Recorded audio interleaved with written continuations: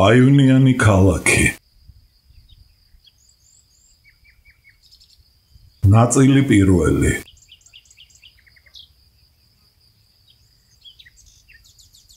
კარი მეშვიდე.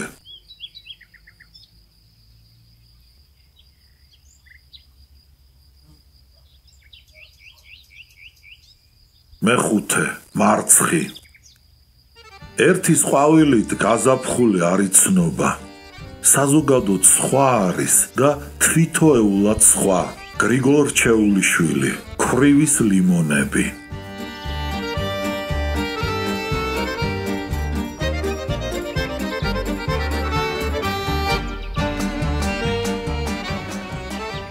გიგა ზანდარომა კურტანიძეების სახლისაკენ მიმავალი გზა დაივიწყა.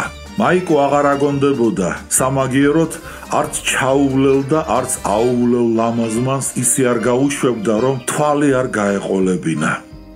სულ აქეთიკით იხედებოდა თავს იწონებდა და ფასიდებდა. თვალების ცეცებაში დუქანიც ავიწყდებოდა და ვაჭრობაც.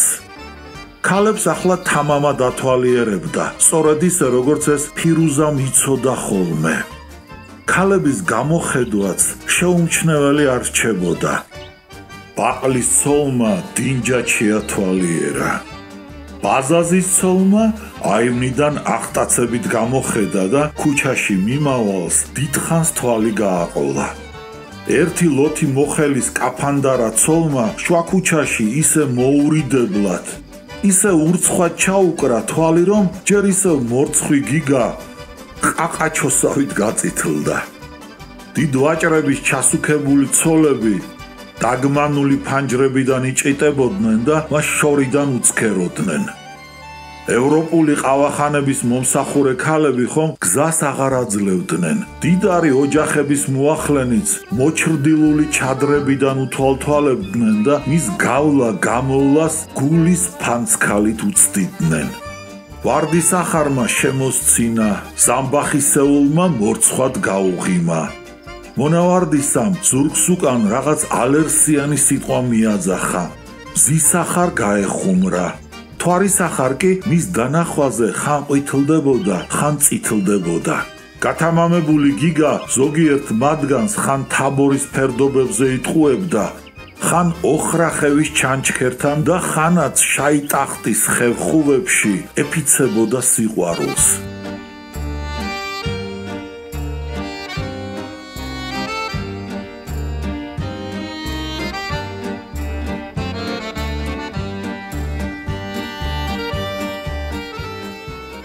მან ღარიბი მეზობლის ლამაზ გოგოებსაც დაადგა თვალი, მაგრამ როცა იმაზე მეტი მოინდომა, რის დათმობასაც პატიოსანი გოგოები მხოლოდ ქორწინების ღამეს აპირებდნენ, პირში ჩალა გამოვლებული დარჩა.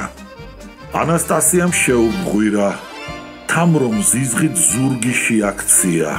ანომ ისეთნაირად გამოლანძღა და გამოთათხა, როგორც ეს ქალაქელ ქალს ეხერხებოდა. მეთულუხჩის ქალმა მარუამ ვარესი დამართა.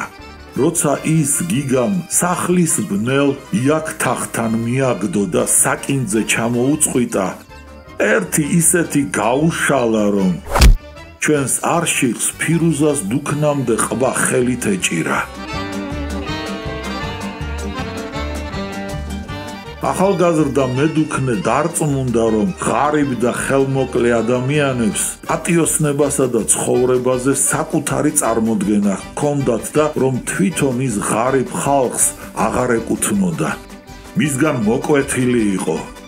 ცხოვრებით კი ისე უნდა ეცხოვრა როგორც სოუდაგრები და მდიდარი მედუქნეები ცხოვრობდნენ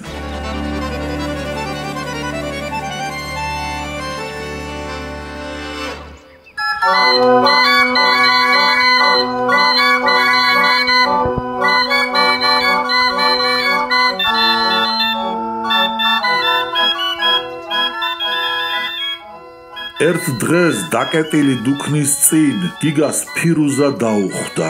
შორიდანვე დაუმღვირა თავის ქნევას და საყვედურს მოხვა. კარგი დახლი დაგვიდგება თუ დუქანს დილიდან საღამომდე კლიტე დაადე სად ახარ სად დაეთრევი რას აკეთებ? საქონელს ქარვასლებიდან მოტანა უნდა. ისე როგორ ვივაჭრებ ფირუზჯან? იცრუა გიგამ. ეს მისი პირველი ტყუილი იყო მაგრამ არც შერცხვა და არც გაწითლდა მეც მაგისთვისა ვარ მოსული უთხრა ფირუზამ. საქონელს ყიდვა და მოტანა უნდა. სხვანაირად დუქანი ვერ იხეირებს საქონელს კი უფულოდ ჯერ არსად ყიდიან ეგეთი არც დუქანი, არც ბაზარი, არც ქარვასლა მე არ ვიცი. შენ თუ იცი წამიყვანე, მაჩვენე, მადლობას გეტყვი. გიგას თვალებში შეხედა და იქედნური ღიმილი დასძინა. რამდენი ხანია ანგარიში არ ჩაგიბარებია? რატომ არ მეტყვი, რა მოიგე, რა წააგე? იქნებ იმ ქარვასლიდან მუქთად მიგაქვს საქონელი. გიგას მოაგონდა რომ ქარვასლიდან საქონლის მოსატანად ფირუზასათვის უნდა გამოერთმია ფული. უხერხულად შეიშმუშნა. ფირუზამ მის შეცმუნებას არავითარი ყურადღება არ მიაქცია. მაღლა ზეცაში აიხედა ხელის გულით კი მზე მოიჩრდილა. ამ ზის გულზე რა თმაჩერებ გინდა ადამიანს ისევ მქირდავად გაიღიმა და განაგრძო ზოგისთვის ისევ დილა, გამრჯე ხალხისთვის კი დიდი ხანია შვა დღეა. დუქანში შევიდეთ, დახლთან დავსხდეთ. დახლთან ფირუზამ თავი დაისაწყლა, აწუწუნდა. სოვდაგრებმა სხვადასხვა ქვეყნიდან მოტანილი საქონელი დააძვირესო. მედუქნეები იძულებული არიან ძვირად ناقიდი იაფად გაყიდონ, რომ მუშტრები არ დაეფანტოთო. სახლის მდგმურები ქირის გადახდას აგვიანებენო. უბანში რამდენიმე ახალი დუქანი გაჩნდა და დახლში შემოსავალმა იკლო. მე თვითონ გამიჭირდა და აბა სხვას როგორღა დავეხმარებიო. ამიტომ ამიერიდან გიგა ფირუზასაგან ერთ გროშსაც ვეღარ მიიღებს. ზემო დუქანს თვითონ უნდა გაუძღვეს და მოუაროს. ნავაჭრი დაზოგოს. საკუთარი თანხა გაიჩინოს და ამ თანხით ქარვასლებში იაროს. ფირუზას კი ისედაც ბევრი საქმე აქვს. ნელ-ნელა ბერდება. თავსაც კარგად ვერ გრძნობს. ხან ფეხს იტკიებს, ხან ფერც. თვალებიდანაც კარგად ვეღარ აიხედება. ზოგჯერ თავი უმძიმდება. კუსპარა დალაკი გაამდიდრა წურბელების მოკიდებით. შეღავათი კი ჯერ არსა და ჩანს. გიგა დაბნეული შესქეროდა მაისის ვარდივით გაფურჩქნილ ლოყებ ღაჟღაჟა. თეთრ წითლად გაღვივებულ და კმაყოფილი ცხოვრებით გასისინებულ ფირუზას. სიტყვის შებრუნებას ვერ უბედავდა და გაჩუმებული იდგა. ფირუზამ უარესად დაისაწყლა თავი. ამოიოხრა. გიგას თავი დაუკრა და თავის გზას გაუდგა გიგა მარტო დარჩა. დუქნის მოვა გაუჭირდა.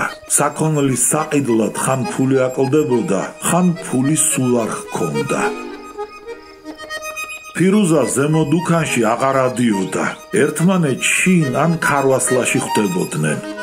ფირუზა არასდროს ეკითხებოდა, როგორ იყო, რას აკეთებდა, რით ვაჭრობდა, დარბაისურად ოხუნჯობდა, ან დიდკაცურად მძიმედ ლაპარაკობდა. დამფრთხალ გიგას წამდაუწუნ მედუქნე შაქროელანდებოდა. გაკოტრების ეშინოდა და თავის დუქნის დახლში ჩამძრალი გარშემო შიშით იცქირებოდა. მისი დუქანი სულ უფრო და უფრო ღარიბდებოდა. მუშტარიცე ფანტებოდა, რადგან გაქესატებულს ყველანაირი საქონლის ყიდვა აღარ შეეძლო. ამის გარდა ჯერისევ შაქროს დროს მიშვებულ დუქანს შეკეთება სჭირდებოდა. დუქნის სახურავზე კრამიტი დამტრეული და აყრილი იყო. წვიმის დროს ჭერიდან წყალი ჩამოდიოდა.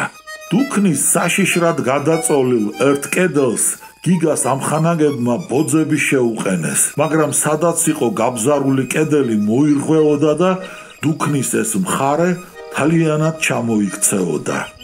კედლის გასამაგრებლად აგური, კირი და გაჯი იყო საჭირო, მაგრამ უფულოდ დუქნის შესაკეთებელ მასალას გიგა ვერ საიდან ვერ მოიტანდა. ფირუზა ყურებს არიბერწყავდა. გიგას ჯელ დოსტევსკი იმდენი არ ჰქონდათ, რომ გაჭიროებაში ჩავარდნილი ამხანაგისათვის ხელი გაემართათ. ძლივს გამოდარებული გიგა ისევ გულჩათხრობილი გახდა. მარტოდ მარტო დარჩენილს და ჯიბეცარიელს თავი ლამის კედლისთვის ეხალებინა. ამ მდგომარეობაში დახვდა თავის საყვარელ მაიკოს.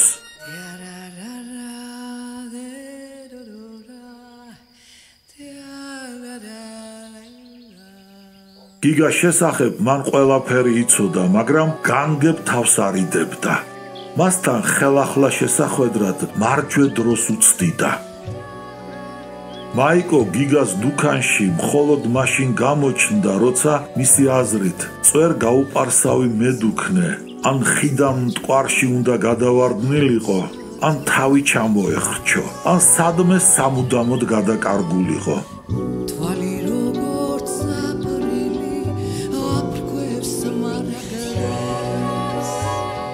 გამოჩნდა და თავი ისე დაიჭირა, თითქოს გიგას სანახავად კი არ იყო მოსული, არამედ ციცაკის და დარიჩინის საყიდლად. დუქნის კარებიდანვე მიაძახა: "ქა, ეგრე რამ დაგიღრიჯა სახე გიგაჯან. ჩემი დანახვა დავიჯერო ეგრე გეწყინა?" გიგა კინაღამ წამოხტა. არეგონა თუ მაიკოს დანახვა ასე გაუხარდებოდა, მხოლოდ ახლა მიხვდა რომ ფირუზას და თეთრი ლიზას შემდეგ მისთვის ყველაზე მახლობელი ადამიანი მაიკო იყო.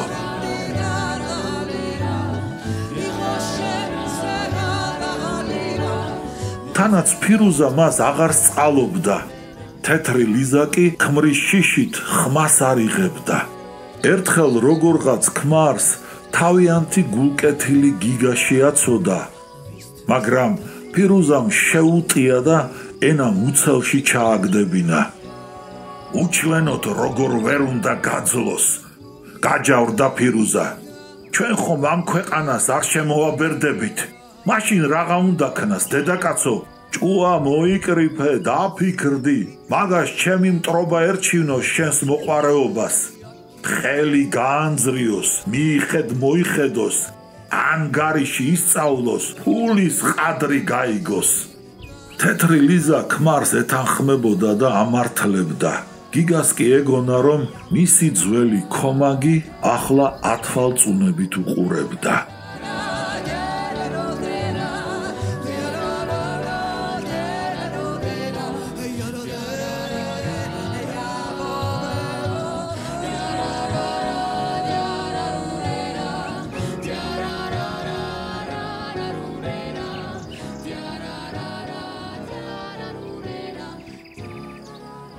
მეექვსე შეგონება.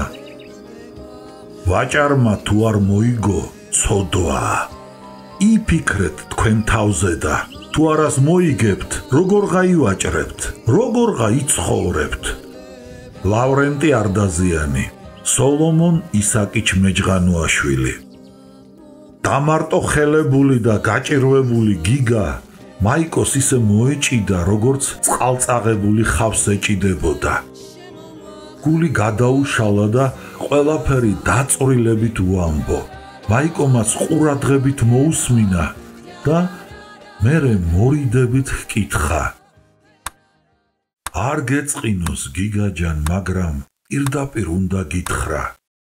ვაჭრის ქუდი გახურავს, მაგრამ ვაჭარი არ ახარ. გიგამ გაყვირვებით შეხედა. პატიოსანი ხარ, გულკეთილი, შემბრალე, ეს ვაჭრის თილისმები არ არის.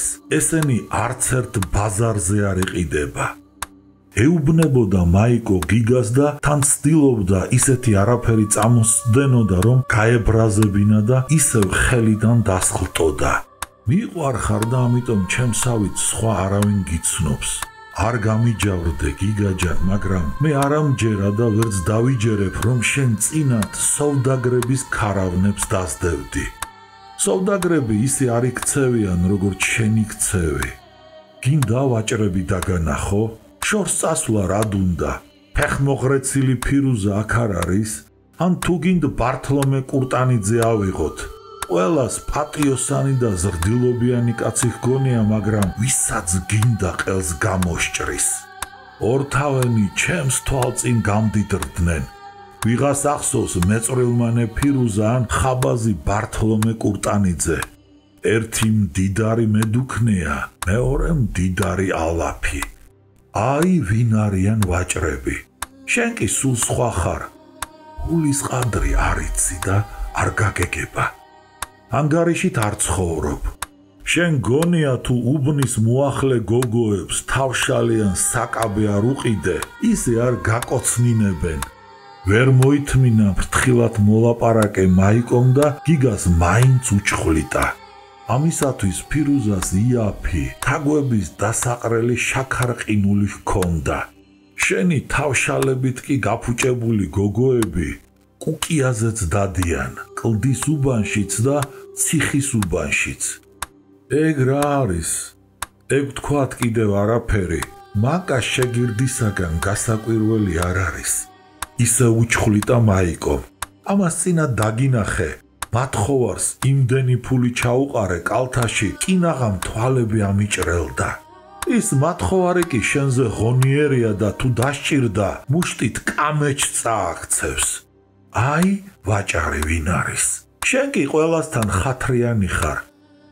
ქალ სადაც უნდა ლოგინს იქ გაგაშლევინებს თუნდაც თეძო ამოვარდნილი ჰქონდეს ისე უჩხლიტა მაიკომ რომ ერთი ბეწოც არ გაიცინა და არც გაიღიმა. ღარიბი გეცოდება. მოტყუებულ გლეხს ესარჩლები და იმის გულისთვის ბაზარში ჩხუბს მართავ. ყველასთან გულკეთილობ უბანში ყველას უყვარხარ. რაც მართალია მართალია. ამაზე ვინ რა სიტყვის მაგრამ სარგებლობა სად არის კარგი ბიჭის სახელი რადგინდა თუ სახრავიც არ გაიჩინე? ღარიბების სიყვარული ერთი მითხარი სად ან რაში დაგჭირდება?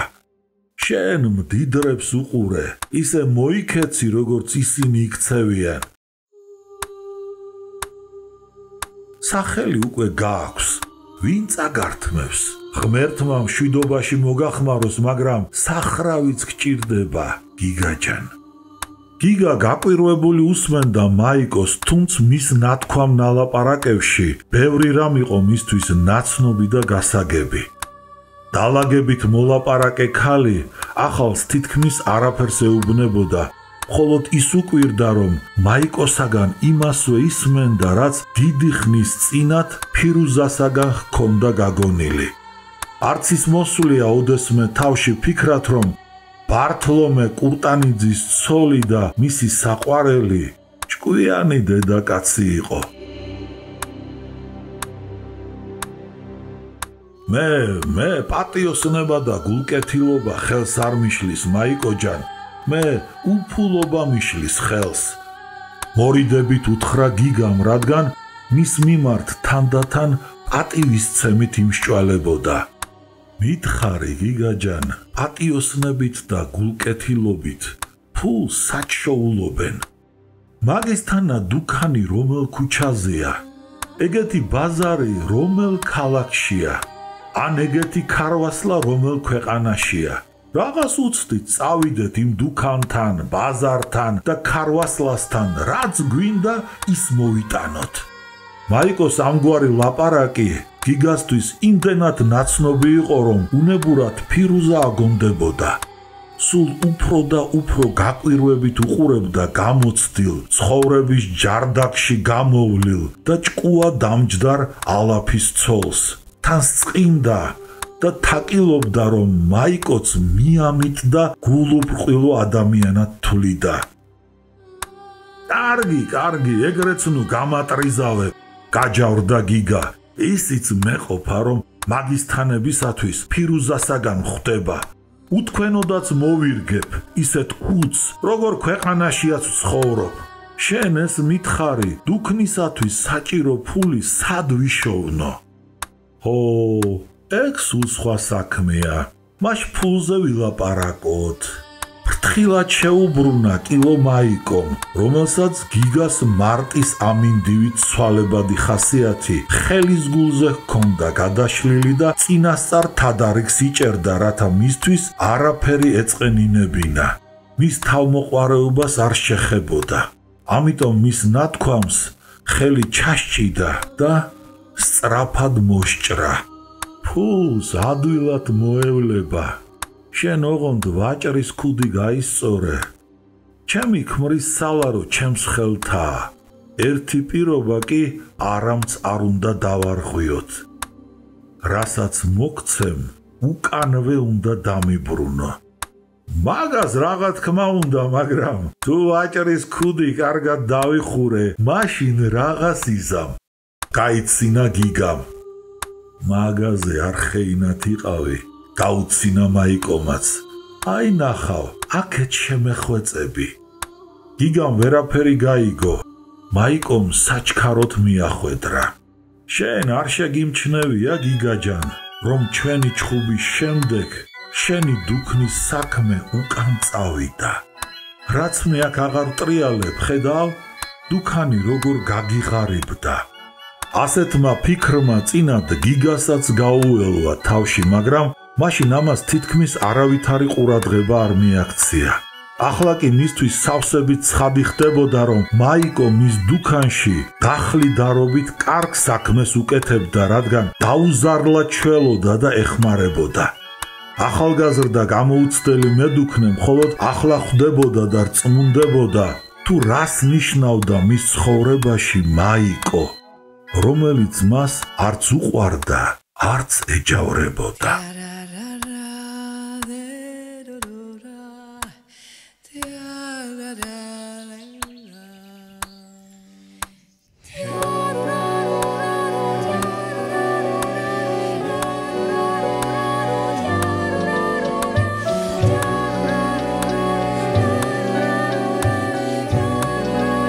სტუდია კოცი და შემეცნებით საგანმანათლებლო პროექტი რადიო კინო წარმოგიდგენთ نيكოლოზ გაბაონის ვალერიან გაბაშვილის რომანის აივნიანი ქალაქის სრულ აუდიო სერიებს. პროექტის ავტორი და ხელმძღვანელი კობა ხაკაია. ოპრეშუმის წავშალი გდევოდი